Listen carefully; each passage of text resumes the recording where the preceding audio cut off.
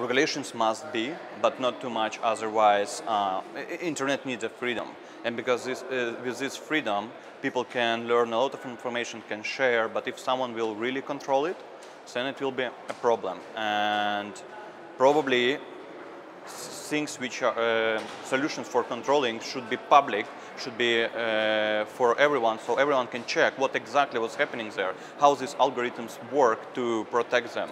So uh, organizations, public organizations should control these things and it should be available for everyone. So everyone will be aware how uh, something was detected as a threat, why it's detected as a threat.